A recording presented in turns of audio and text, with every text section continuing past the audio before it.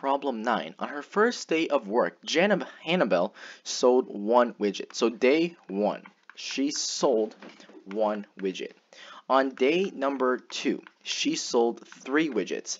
On day number 3, obviously order your data like this. Very neat. If you're very neat, you typically solve the question correctly. On day 3, she sold five widgets.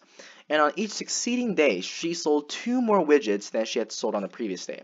So the widgets on on um, on day number n will be equal to what? It will be equal to 2 plus the number of widgets sold on the previous day, n minus 1. So how many widgets in total had Janabel sold after working 20 days? You can think of it like an arithmetic series.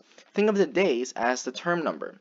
We have 1, 3, 5. What's next? We have 7, 9, 11 by this recursive formula, right? And this is the term. This is the order of those terms. This is term number one, term number two, term number three, term number four, term number five, term number six.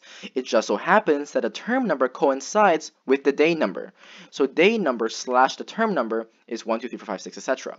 We have 20 of them. Well, we have an arithmetic series. So what is the 20th term? Well, the 20th term is equal to the first term plus the 20th term, 20 minus 1 times the common difference. The first term is equal to 1 plus 19 times the common difference of 2 will give me 1 plus, um, 38 which gives 39. So this goes on and on until 39, and this goes on and on until number 20. How many widgets in total has she sold? Well, we now have to sum all these terms up. And since it's an, an arithmetic series, we use the arithmetic series summation formula, which states the sum is the first term plus the last term times the number of terms divided by 2.